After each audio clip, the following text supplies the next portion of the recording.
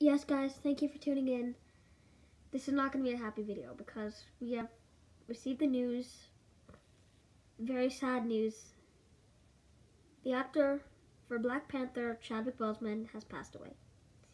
He was uh, apparently dealing with a four-year cancer battle to colon cancer, stage three, for four years, which means he was battling through cancer while filming Captain America Civil War, Avengers Infinity War, Avengers Endgame, the Black Panther solo film, four movies throughout four years. What a guy.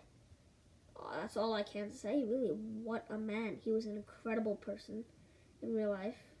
Um, very, very sad for his family, for his uh, friends, castmates. Very sad day.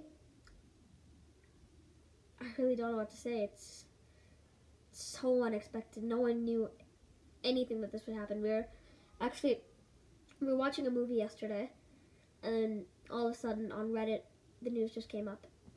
It, it's I'm at a loss for words. I no one expected it. No one knew it would happen. It's it's a very sad day for not only Marvel fans, but to people who just to people who just wanted a role model if people idolize Chadwick, it's a very hard day for them too because uh, it's a very sad day. It is. Um, rest in power, my king. Wakanda forever. Uh, use the hashtag Wakanda forever, everybody. Wakanda forever. Rest in peace, my king.